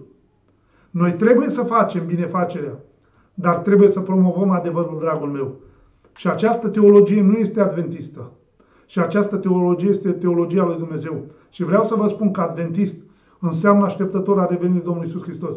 Și dumneata, dacă vei promova adevărul lui Dumnezeu, chiar dacă ești penticostal, baptist sau adventist, tot un promotor adventistești, tot un promotor al așteptării iminente a revenit Domnului Iisus Hristos vei fi, ori din ce categorie vei face. Spune că înainte de înființarea Bisericii Adventiste de ziua șaptea, Dumnezeu i-a numit pe toți aceia care veneau de la metodiști, veneau de la baptiști, veneau de la evangeliști și așa mai departe. La timpul acela, până s-a învițat Biserica Adventistă de ziua șaptea, Dumnezeu i-a, i-a numit, i-a numit adventiști, adică așteptători. Fiindcă adventist înseamnă așteptător a revenirii iminente a Domnului Isus Hristos. Fiindcă oamenii aceia au așteptat pe Domnul Isus Hristos să vină. Să mergem mai departe. De aceea curățirea sanctuarului implică o lucrare de cercetare, o lucrare de judecată. Această lucrare trebuie îndeplinită înainte de venirea Domnului Isus Hristos pentru a-și răscumpăra poporul, căci atunci când vine răsplata este cu el ca să dea fiecăruia după faptele lui. Dragii mei, vom trece la ultima parte a studiului nostru de joi. Voi vrea să închei cât mai repede, că deja am depășit. Dragii mei, nu judecați pe nimeni care vorbesc. Nu răspundeți nimănui după vorbele pe care le, le rostesc. Chiar am o rugăminte la dumneavoastră. Purtați-vă cu înțelepciune. Purtați-vă, scuzați-mă, cu dragoste și iubire pentru cei care vorbesc lucrurile acestea. Lăsați-i să vorbească, dragii mei. Lăsați-i. Lăsați-i. Că poate unii dintre ei fac din neștiință lucrul acesta. Poate unii dintre ei așa au înțeles adevărul. Până când într-o zi Bunul Dumnezeu va lucra în viața fiecăruia ca să ducă. Nu mă veți auzi pe mine niciodată că își vor vorbi împotriva unui penticostal, baptist, evanghelist, martor lui Hova și așa mai departe. Nu. Noi vorbim adevărul lui Dumnezeu. Noi să ne ocupăm mintea cu lucrarea lui Dumnezeu. Nu cu lucrurile care nu sunt de la Dumnezeu, dragii mei. Lăsați-i să vorbească. Lăsați-i. Fiecare are dreptul să vorbească și să spună ce vrea și ceea ce gândește. Este liber. Noi să nu ne încărcăm cu nimic aceste. Domnul să-i binecuvânteze și pe acești. Și pe Vasile Fierar, și pe celălaltul, și pe celălaltul. Dumnezeu să-i poarte în brațul său de, de, un, de, de biruință. Dumnezeu să-i poarte în iubire așa și în dragostea sa. Dumnezeu să-i ocrotească. Dumnezeu să le dea înțelepciune ca să cunoască adevărul și să meargă pe calea cea dreaptă. Eu nu zic că eu am tot adevărul, dar eu vreau să prezint adevărul Dumnezeu așa cum este El. Dumnezeu să ne ajute așa cum dorește El mai bine. Să trecem la ultima parte, tipologia ca profeție. Biblia cuprinde toate principiile pe care oamenii au nevoie să le înțeleagă pentru a fi pregătiți fie pentru această viață, fie pentru cea viitoare. Și aceste principii pot fi înțelese de toți. Niciun om care are spiritul de a-i aprecia învățăturile nu poate citi un singur pasaj din Biblie fără să câștige un folos din, din el. Dragul meu, Biblia are tot ce-i trebuie. Are toate principiile de care oamenii au nevoie. Dacă eu îl studiez, dacă eu am un spirit de apreciere a învățăturii lui Dumnezeu, atunci când citesc un pasaj, înțelegeți dumneavoastră, eu voi avea de câștigat ceva din el. Dar cea mai valoroasă învățătură a Bibliei nu trebuie câștigată prin studiul ocazional sau întrerupt. Auziți ce spune? Dacă noi vrem să avem o învățătură valoroasă a Bibliei, noi trebuie să câștigăm prin studiu nu ocazional și să fie un studiu neîntrerupt. Marele sistem al adevărului ei nu este prezentat în așa fel încât să poată fi înțeles de cititorul grăbit sau neatent. Noi nu vom putea înțelege adevărurile Sfintelor Scripturi dacă suntem neatenți, dacă suntem grăbiți, dacă citim doar să avem cunoștință, dacă citim să combatem pe ceilalți, dacă citim să arătăm că noi avem adevărul, dar dacă citim să arătăm că adevărul este al lui Dumnezeu, să facem la fel ca și Daniel când îți spune, sau ca Iosif în Egipt, tu care ai lucrurile acestea, care tu poți să faci lucrurile acestea, la un moment dat uh, uh, Iosif și Daniel spune așa, nu eu împărate, ci Dumnezeul cel prea înalt mi-a descoperit. Nu mie mi se datorează lucrul acesta. Așa trebuie să promovăm și noi adevărul lui Dumnezeu. Așa trebuie să promovăm și noi pe Dumnezeu și lucrarea lui Dumnezeu. Nu uh, teoria adventistă și lucrarea lui Dumnezeu. Nu teorie baptistă și evanghelistă sau pentecostală, și teoria și lucrarea lui Dumnezeu. Căci fiecare biserică are teoria lui. Teoria ei. Fiecare are doctrina și teologia ei. Dar teologia cea mai importantă într-o biserică trebuie să fie teologia și doctrina lui Dumnezeu. Cu, spune așa că mulți, multe dintre comorile ei stau îngropate la o adâncime mare față de suprafață și nu pot fi obținute decât prin cercetare sârguincioasă și efort neîncetat. Adevărurile care compun marele întreg trebuie căutate, adunate, puțin aici și puțin colo. Când sunt căutate și puse la oaltă în acest fel, se va descoperi că se potrivesc perfect unul cu celălalt. Fiecare evanghelie este un supliment la celelalte, fiecare profeție o explicație a alteia, fiecare adevăr o dezvoltare a unui alt adevăr. Tipurile modelului de închinare iudaic sunt clarificate de Evanghelie. Fiecare principiu din cuvântul lui Dumnezeu și are locul lui și fiecare fapt în semnătatea lui, iar structura completă ca plan și execuție dă mărturie despre autorul ei. Nici o minte în afară de mintea celui infinit nu putea concepe sau realiza o asemenea structură pe care Dumnezeu ne-a pus-o în față, dragii mei. În investigațiile lor, eu ca adventist de ziua șaptea, am aflat că sanctuarul pământesc construit de Moise la porunca lui Dumnezeu potrivit cu modelul care i-au fost arătat pe munte, are o asemănare pentru vremurile de acum.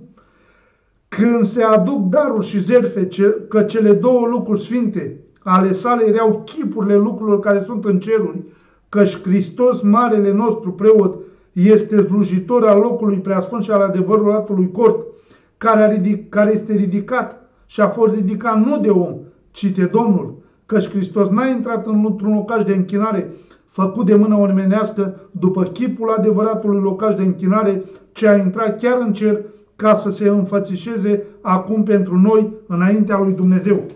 Deci vedeți, dragii mei, de ce noi, adventiștii de ziua șaptea, suntem diferiți. Și mi-aș dori ca și ceilalți oameni să fie diferiți de lumea aceasta, fiindcă toate lucrurile sanctuarului din vechime și slujbele pe care i-au fost date prin Moise, poporul Israel, semnifică destul de clar lucrarea pe care trebuie Dumnezeu să o facă. Și noi, adventiștii de ziua șapte, am înțeles un singur lucru, pe care oamenii nu vor să-l înțeleagă, fiindcă jertfele spunea că va fi o zi în care omul trebuie să vină cu animalul să aducă jertfă pentru ispășirea păcatului. Păcatul rămâne în Sfânta. Din Sfânta, Sfânt, din Sfânta se ia de Marele Preot și se duce în Sfânta Sfintelor pentru ispășire, pentru curățire. Noi am înțeles că toate aceste lucruri au fost antitipuri care s-au întâlnit cu tipul și reprezentat tipul care trebuia să vină. Mielul simboliza pe Domnul Isus Hristos, care trebuia să vină să moară și să devină mare preot pentru noi oamenii. Jertfele care se aduceau pentru iertare pecatelor și marele preot trebuia să intre. Îl reprezintă pentru, pe Domnul Isus Hristos pentru timpul de sfârșit al judecății de cercetare, când preotul intra cu sângele și cu păcatele pentru iertarea lor. În timpul acesta Domnul Isus Hristos este în ceruri, care face lucrarea care se făcea la santuar pentru ispășire, pentru judecată și cercetare, pentru iertare, pentru răstabilirea copiilor Dumnezeu cei credincioși care au murit și care vor fi găsiți în viață în legea și rânduielile lui Dumnezeu și după lucrarea lui Dumnezeu. Pentru aceasta suntem, să promovăm adevărul. Nu promovez teologia adventistă și promovez teologia care este trecută în cuvântul lui Dumnezeu, dragii mei, în Sfintele Scripturi. Dacă noi citim Sfintele Scripturi cu umilință înaintea lui Dumnezeu, fiecare text ni se va descoperi și ne va veni în față. Și aș vrea să închei ultimele lucruri care le aduc înaintea dumneavoastră. Dărâmarea Ierusalimului era un simbol al ruinei finale, care va cuprinde lumea întreagă. Profețiile care s-au împlinit în parte la dărâmarea Ierusalimului se potrivesc mai bine pentru zilele din urmă în care trăim noi. Acum ne aflăm chiar în pragul unor evenimente mari și solemne. În fața noastră stă o criză, așa cum nu s-a mai văzut. Ca și primii ucenici avem și noi plăcerea, plăcuta asigurare că împărăția lui Dumnezeu stăpânește peste tot. Programul derulării evenimentelor este în mâinile Creatorului nostru. Maestatea cerului are în grija sa soarta națiunilor, precum și interesele bisericii sale. Divinul învățător îl, îi spune fiecărui sol angajat în împlinirea planurilor, planurilor sale, așa cum îi spunea lui Cirius, eu te-am încins înainte ca tu să mă cunoști. În Isaia 45 cu 5. Dragii mei, aceasta a fost lecțiunea pentru astăzi. Eu vreau, înainte de a încheia acest mesaj din această dimineață, să-mi cer iertare înaintea celor care n-am fost pe placul lor. Dar nu trebuie să se certe cu mine și să se certe cu Dumnezeu, fiindcă Dumnezeu a rânduit aceste lucruri.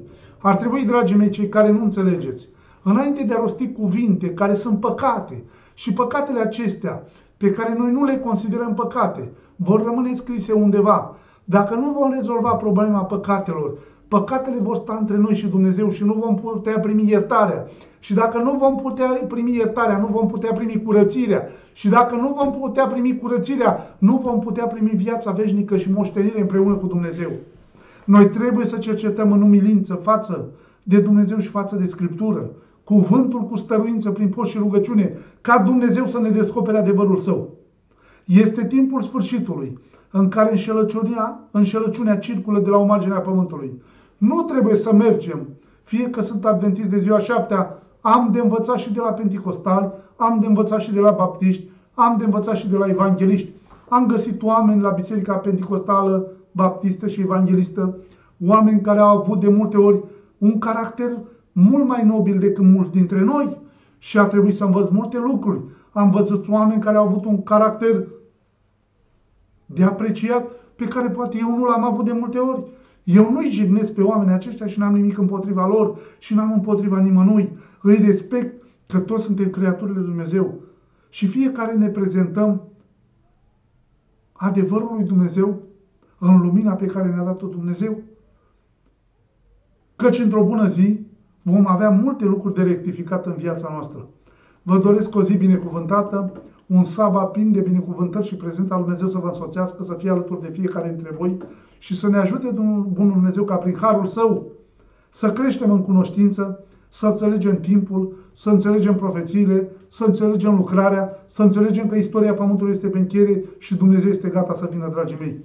Vă doresc poftă bună, nu mare, să nu vă îmbuibați, să mâncați cumpătați, să trăiți în temele de Dumnezeu, să studiați mai mult, să vă rugați mai mult, să aveți o legătură mai strânsă cu Dumnezeu. Rog și rugați și voi ca Duhul lui Dumnezeu să fie peste voi umbră și adăpost și sprijin și călăuzire în tot ceea ce faceți pentru a cunoaște calea, adevărul și viața în care Dumnezeu să vă mântuiască, dragii mei. Domnul cu noi cu toți, până când ne vom vedea